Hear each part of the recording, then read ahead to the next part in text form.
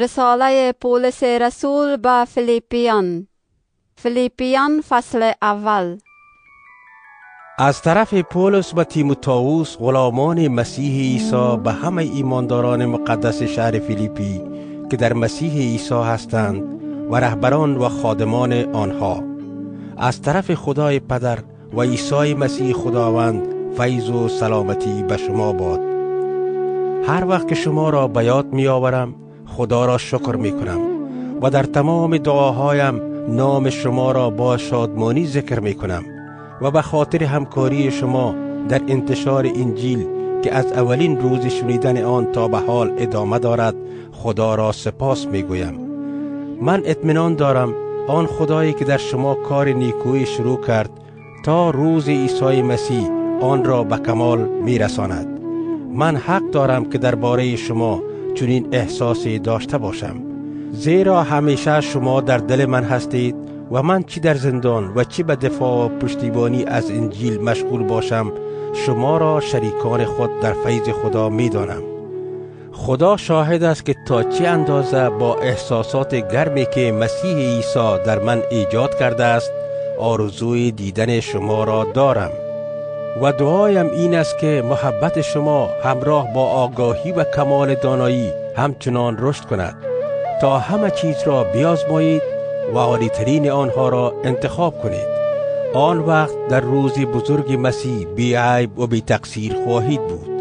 همچنین دعا می کنم که زندگی شما از ثمرات عدالتی که به وسیله عیسی مسیح به دست می آید و برای جلال و ستایش خداست پر گردد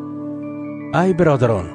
می خواهم بدانید که آنچه به سر من آمده است در واقع به پیشرفت انجیل کمک کرده است. تا آنجا که تمام اعضای گارد امپراتوری و دیگران نیز می دانند که من در خدمت مسیح و به خاطر او زندانی شده ام و از طرف دیگر بسیاری برادران مسیحی به سبب حبس من به قدری قوی دل شده اند که جرأت می کنند پیام خدا را بدون ترس اعلان کنند. البته بعضی ها به علت حسادت و مجادله به مسیح بشارت می دهند ولی دیگران این کار را با حسن نیت می کنند اینها از روی محبت چنین می کنند زیرا می دانند که من به جهت دفاع از انجیل در اینجا افتاده ام ولی آنها از روی همچشمی به مسیح بشارت می دهند نه از روی صمیمیت زیرا گمان می کنند از این راه می توانند بار زحمت مرا در زندان سنگین تر سازند. چه اهمیت دارد؟ از هر راه باشد خواه از روی نیت درست یا نادرست مسیح به مردم اعلام می شود و این امر برای من مایه خوشی است. آری من شاد هستم و همچنان خوشی خواهم کرد زیرا می دانم که به وسیله دعاهای شما و به یاری روح عیسی مسیح این امر به نجات من تمام خواهد شد. زیرا انتظار زیاد و امید من این است که در هیچ چیز خجالت نکشم بلکه حالا با دلیری کامل مانند همیشه مسیح را در وجود خود جلال دهم.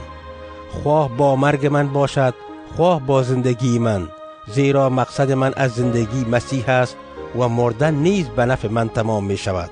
اما اگر با زنده ماندن بتوانم کار ارزندی انجام دهم من نمی‌دانم کدام را انتخاب کنم. بین دوراهی گیر آمدم. آرزو دارم که این زندگی را ترک کنم و با مسیح باشم که خیلی بهتر است. اما به خاطر شما زنده ماندن من لازم تر است. با چنین اعتمادی یقین دارم که زنده خواهم ماند و برای پیشرفت و شادمانی شما در ایمان با شما خواهم بود. تا با وسیله آمدن دوباره من دلایل افتخار شما به من در مسیح عیسی زیادتر گردد. به هر حال طور زندگی کنید که رفتار شما شایسته انجیل مسیح باشد و من چی بیایم و شما را ببینم و چی نیایم می خواهم درباره شما بشنوم که در یگانگی روح پابرجا هستید و با هماهنگی پیوسته دست به دست یک دیگر داده به خاطر ایمان انجیل تلاش می کنید به هیچ وجه از مخالفین نترسید زیرا این دلیری شما با آنها ثابت می کند که به سوی هلاکت می روند و شما نجات خواهید یافت و آن هم از طرف خداست. چون این امتیاز به شما عطا شده است که نه تنها به مسیح ایمان آورید بلکه به خاطر او نیز رنج و زحمت ببینید. زیرا شما نیز به همان مبارزه داخل شده اید که من داشتم و شما ناظر آن بودید و اطلاع دارید که هنوز هم گرفتار آن هستم.